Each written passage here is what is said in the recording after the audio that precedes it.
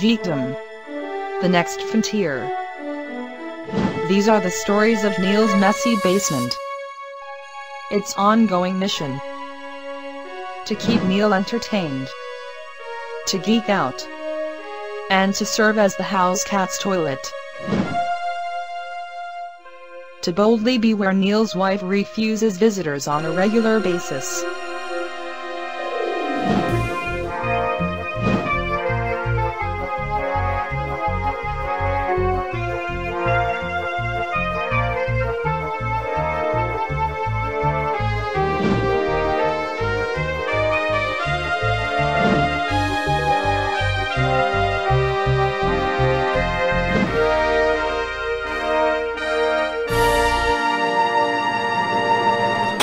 This is Neil Schneider from Meant to Be Seen. Welcome to the special Star Trek Bridge Crew edition of Neil's Messy Basement. And to my right is Captain DJ. Say hi, Captain DJ. Hi, we have a duo. And who else do we have here? Um, first officer Brownie. First officer who? First officer Brownie Bear. So I don't normally let him play with the virtual reality equipment at all, but look, you know what? It, it was a it was a special occasion. So we're going to be back with more right after this. I know there are a lot of Star Trek Bridge Crew reviews out there. So what I decided to do was I was going to share I'm going to share some tips with you so that you'll be better captains, better helmsmen, better tactical ops officers, and of course better engineers, and hopefully you won't end up like a red shirt like myself. So let's get started. So what, what the heck is Star Trek Bridge Crew? Well, Star Trek Bridge Crew is a mission-based simulator. You can, you, you are on the bridge of the USS Aegis, a Federation starship in the current Star Trek universe. And when I say the current Star Trek universe, I mean the modern movies where Chris Pine is, is the captain. And as the name suggests, you're literally on the bridge in virtual reality. You're sitting down at the stations. You're in the game. Really exciting stuff. This is this is like the fantasy of of the majority of Star Trek geeks out there, geeks like myself. So so there you go. So here are some quick facts about the game. It's developed by Red Storm Entertainment, published by Ubisoft. It runs on the HTC Vive, the Oculus Rift, and Sony PlayStation VR. So pretty much all the major brands uh, support uh, Star Star Trek Bridge Crew. What's really cool about this game is there is an important multiplayer component to this, and no matter which which solution you're running, you can interact with others. So you're all in the same universe together, no matter what you're running, whether it's the Vive, the Rift, or PSVR uh, solution. So really, really exciting stuff. Now, this is a seated virtual reality experience, which means that you don't need to to dedicate a lot of space in your room to, to make the VR work. And I mentioned that it's got multiplayer support, which is, which I'll talk about a little bit later. There's also a single player campaign and you can play single missions as well. So you don't have to play with other people to enjoy the game, but really there is a lot of enjoyment to be had in the multiplayer. So what, what are the mechanics of the game? What, you know, what, what do you actually do mission to mission? So most of the missions have to do with exploring, you know, going out to different solar systems and scanning anomalies and, and figuring out what's going on. You do a lot of spying. So, uh, this isn't, you know, when I first heard about Star Trek Bridge Crew, I fantasized that you're, you know, the captain of the ship and you just jump into the solar system and you yell out, shields up, and you go into battle. It's not quite like that. It's actually more of a, a submarine type of mechanic where you're sneaking around and you don't actually, actually want to be detected by the enemy. And when you do, only then do you, you know, you start going into red alert and, and all that battle stuff. Lots of fun. Um, you do, uh, so, so you do exploring, you do spying, uh, you do rescuing. So, uh, and, uh, you know, there's always someone in trouble out there. And for whatever reason, you're the only starship available who can help. So you're going to, you're going to be dealing a lot with that. And finally, space combat, which no matter what mission you're in, I assure you, you're going to hear the sounds of a cloaked vessel and uh, you know, it's very likely that you'll be going into combat no matter what mission you, you uh, participate with. Now, there's multiple classes in the game. So, you, you know, the, the, the bridge is composed of the captain, the helmsman, the tactical officer, and the engineer. And each has, of course, an, a very important role. The captain obviously commands the ship. However, it's not just that you're telling people what to do. Your character is the only one that gets the key information needed to complete the mission. So you're, you're going to be given objectives. You're going to be advised of, you know, things that you could do that, you know, might give you advantages over your enemies. So, so the captain has a very important job. Uh, and of course, everything, you know, rests on, on his or her shoulders. Uh, and of course, the captain helps plot the courses and determines, you know, where, where the ship is ultimately going to go. The helmsman uh, is, is, responsible for all the ship's movements, whether you're, you know, in the local solar system, just moving around, or you're, you're, you're zapping around at impulse speed, or going to warp. The, you know, whether you need to get into a system or out of a system, emergency moves, it's all up to the helmsman. Very important job. Tactical, the tactical officer or ops this is the person responsible for all the weapons control, scanning, um, system intrusions. What that is, is you could actually scan your enemy and through some hacking, you could, you know, disable their weapons and disable their engines or shoot through their shields, like all kinds of neat stuff that, that the tactical officer is able to do. Um, and of course, they, they control, if memory serves, the transporter as well. So very important uh, officer on the bridge. And finally, you've got the engineer. I mean, this is the the underappreciated yet key person on the bridge. They're the ones who get you the power so that the ship can move. They're the ones that give you enough energy that your shields can can stay up. They, you know, when when things go wrong and and your ship takes on damage, which it will, the engineer has to uh, get the rep- repair crews out there and prioritize what needs to be repaired repaired first. Uh, they also have control over the transporters and, and to do these system intrusions to, you know, to, to, uh, put the enemy at a disadvantage.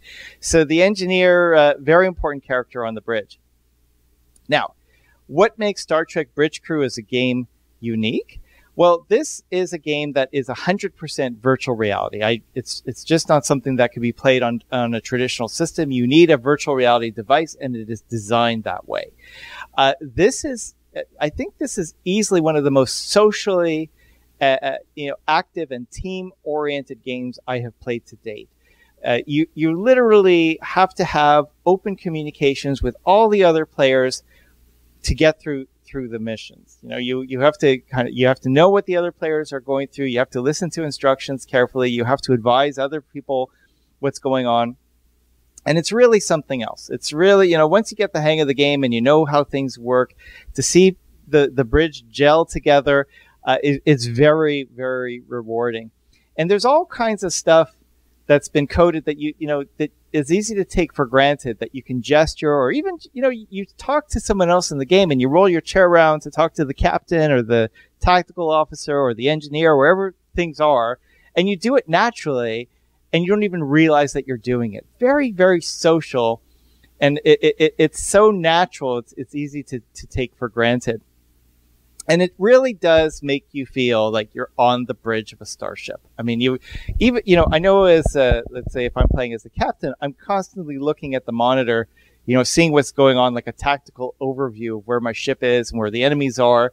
But, you know, you're doing it and you're thinking, but I'm still on a bridge. I have to still be aware of what's going on around me. Anyway, really, really well done. So, what do I like about the game? What did I like in Star Trek Bridge Crew? Well, there was a great deal. Uh, of course, the graphics are top grade. I mean, this is a AAA game. Obviously, nothing, you know, uh, no ex- no expense was was missed here. Um, the roles were really well thought out. It, you know, each character has their job to do, and they have to cooperate with the others so that they're successful. The multiplayer is out of this world. I mean, this is easily one of the best multiplayer games I've, I've, I've played in some time. And, you know, one thing too is I, I know VR, eh, eh, you know, this modern era of VR is relatively new. Uh, it, it's very easy to find matches. You, you know, you, you get into the game. There's a, there's a lobby. You know, as soon as four players appear, the game can start after after the the captain has has chosen which mission to do, and you're in. And it's really easy to to get started with the game in multiplayer. Um, Some other nice touches I mentioned about the social interaction earlier. Well, things that they've done, which is really easy to take for granted. Like they added a lip sync function. So when you're, you're talking, you see the character, you know, the character's lips move, which is actually pretty funny because people, you know, who, who play the game are, are playing from all over the world and in all kinds of circumstances. So one player, they had a, um, a, a toddler yelling and crying in the background. And, but from your perspective, it looked like a Vulcan on the team was, was, you know, crying from a baby and lips. It was really bizarre. Um, but it was something else. And also, uh, you know, they took care. Now this is based on the HTC Vive controller, but you could do similar with the the Oculus uh, Rift controllers as well, or the touch controllers. Is that you could point and you you know you could clench to to to point and you could you know shake your hands and so on. Um, so, ha- so there are some hand gestures in there. I thought what was really neat is normally when I play in a virtual reality game, the hands are disjointed from the body. Like you just see the hands, you know, maybe up to the up to the wrist but somehow Ubisoft figured out a way to calculate where your elbow joint is. Uh, so you actually, you know, see the full, you know, length of your arm in virtual reality and, and where your, your hands are. So a lot of thought was put into that. Um, so you actually, you know, you had elbow joints. So really, really well done. Uh, now, some things that I thought could have been uh, a, a little better is that as realistic as as enveloping as the, the, the bridge is, like in the Starship Bridge, I thought that the enemies were a bit arcade like. So you know, if you watch the Star Trek movies, the ships are big and and you know you you just can't you know like they're just colossal. They're they're they're these big ships. But in in the you know when you're on the bridge and you're seeing ships on on the view screen, they actually it just seems more arcade. They don't seem so big, so so behemoth like they do on the TV show and in the movies.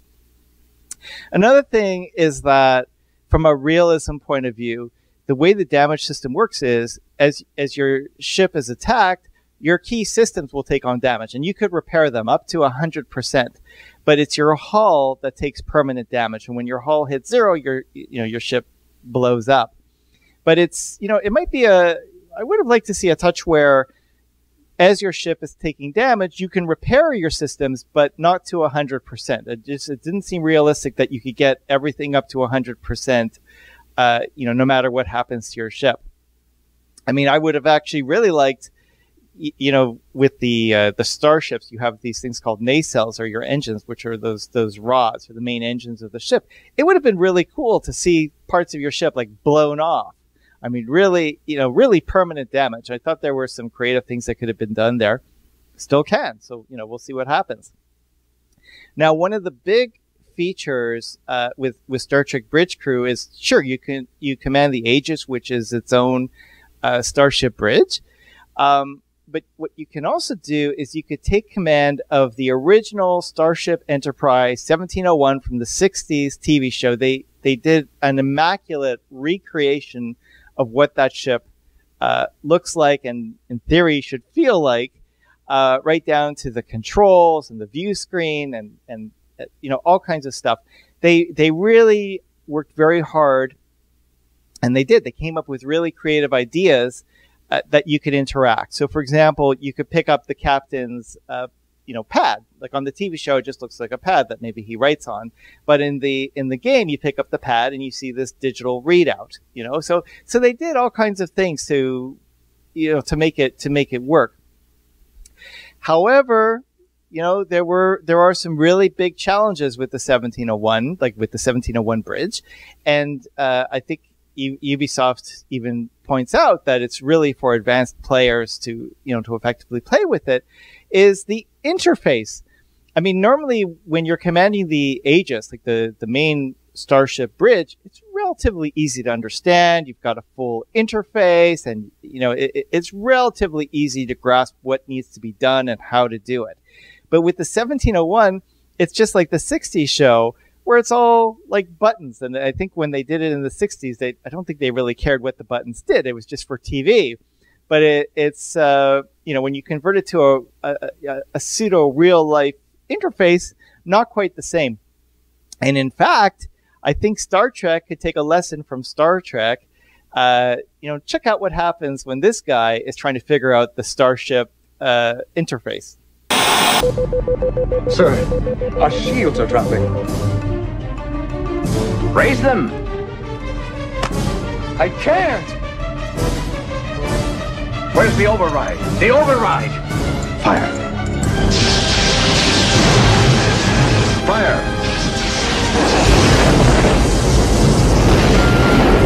You see, interface is everything.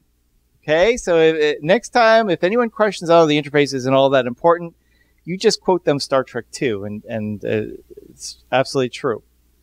Now, this is uh, again excellent game. I'm really happy with Star Trek Bridge Crew, and yet it leaves me wanting more. So let me share with you what I want to see more of, maybe in a future patch, maybe in a follow-up version of the game. You know, this is what I'd like to see. First, more missions. I mean, you, you start off with the traditional campaign missions and they have, you know, an endless supply of random, you know, missions. But, uh, I'd still like to see more stuff, like more originally crafted, uh, missions to keep the game going on. In fact, something else I'd like to see is a mission construction set. So something where, you know, gamers like myself could create our own missions, maybe share them with others. I think that would be, that would add some fun to the game. 100% Klingons in Star Trek Bridge Crew. We need to see some Romulans. Okay. It's, we want to see some Romulan warbirds. We want to see some diversity in, in, in the galaxy. More than this, uh, you know, this, this whole game is, has been played from the, the Star Trek Federation angle. Would be really nice to, to actually, uh, take control of a Klingon battle cruiser. You know, like let's see what it is on the opposite side of the, of the fence. I think that would be a lot of fun. Now, uh, as I mentioned earlier, this is a cooperative game where, you know, each of the four players is on the same bridge. What would really be cool is if there could be team versus team play. What if you've got four people against four people in different starships combating each other instead of going against the computer player? Now, that would really work. I think that would be really exciting. Maybe a change that Ubisoft or Red Storm could do is with that system intrusion function where you, you know, you could disable parts of the, your enemy's ship and so on. Maybe not make it 100% reliable like it is in the game, create some random elements. So player versus player is more interesting, but lots of fun. Uh, and you know what? I think in addition to team versus team, wouldn't it be cool if you could have more than one ship on the same team and hail each other, cooperate with each other, where the captain is hailing the other ship and you're, you know, you're each working on a, on a shared goal. I think that would be really, really interesting. And, uh, you know, another thing too, obviously I want a lot, but, you know, this is what, you know, sparked the interest. More bridges, more ships, more specs. I mean, this could be a really diverse game. Really exciting stuff. Now, You've uh, obviously you've heard my review. Obviously, I like it. Uh, you know, hopefully you get the game for yourself. Here are some ideas or some recommendations so that you know you, you do you do well. So first, if you're the captain of the ship, pay close attention to those objectives. Uh, you know, when you're you're going to get information that everybody else is relying on. You can't just show up in the gal- in, in, a solar system and hope for the best. You're actually getting important data that could make make or break your your mission. Now, you're also going to be sending out commands to other people on the bridge. So instead of just saying shields up, it's important to actually talk to the person you're giving the order to. So you'll say, you know, tactical, raise the shields, or engineer, raise the shields. Otherwise, there could be confusion on the bridge, and that just adds delay when, you know, and, and it, it could cause a lot of damage. So very important to, to speak to the people that you're, um, or indicate who you're, who you're speaking to. Another very important recommendation before you step in the captain's chair, be the other stations first. You know, be the engineer, be be the tactical officer, be the helmsman, because it's important that you understand what they're capable of, so that you're giving them not just the right commands, but you're kind of having a, a taste of what they're going through, so you you have the right expectations. And another recommend something to be aware of. Uh, with the force fields, okay, with the shields, that's what's res- responsible for for preventing your ship from taking damage. Once your shields are down, it's going to take about almost two minutes for them to go back up. There's a there's a recharge that happens. It takes it takes close to two minutes for your ships to your your ship's shields to to recharge. Don't just divert power to the shields, hoping that that recharge rate is going to be faster. That's not going to do anything. The, when you divert power to your shields, it just means that uh, your your shields could take more damage before going down. Okay, so don't don't that nothing can increase that recharge rate. So once your shields are down, you know maybe concentrate on on something else. Just treat it as a loss. Um, for the helmsman, okay, you're again you're responsible for moving the ship. If you're trying to stay hidden, that you don't want to be seen by by the enemy, tr- keep your speed to 4,000 kph or lower. If you go faster, that means that your your ship is more noticeable and you'll you know you'll take on enemies sooner than you, probably want to. Also, if you want to turn faster, okay, uh, a trick I learned is to go in reverse and turn at the same time, and your the speed of the turn will will be will be faster. So that's very helpful when you're moving a behemoth like the Starship Aegis. Tactical, always scan your targets whenever you can. Scan, scan, scan, because uh, you can do things like system intrusions where you interrupt their shields that you could shoot through their shields or disable their engines or disable their weapons. You could do all kinds of stuff. Also, the anomalies. Uh, there's going to be things happening in the solar system that may help your ship. They may damage your ship, but you won't know until you scan them or you learn the hard way. Hopefully, you don't learn the hard way. So scan, scan, scan. Um, also, one thing I mentioned about in, in intrusions that you know affecting the enemy shields.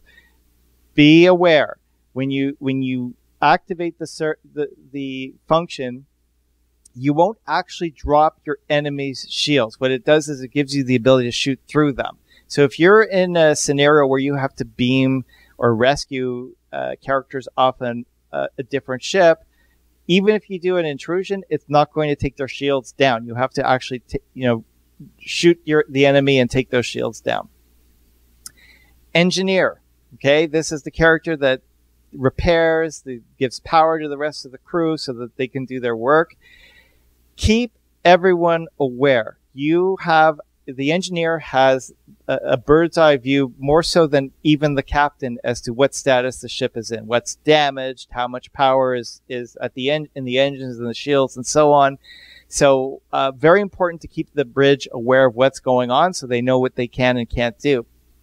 Another thing very important, one of the one of the abilities of the engineer is what they call rerouting power. So yes, you can have different power levels for different systems, but you can also transfer powers in a different way that lets you do more with what you have. So you can, for example, overload the engines or overload your weapon so that you, that you, can get a greater distance and so on.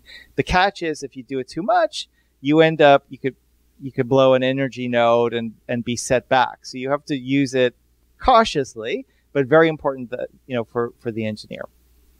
So final remarks for, for Star Trek Bridge Crew. Obviously, this is a great game.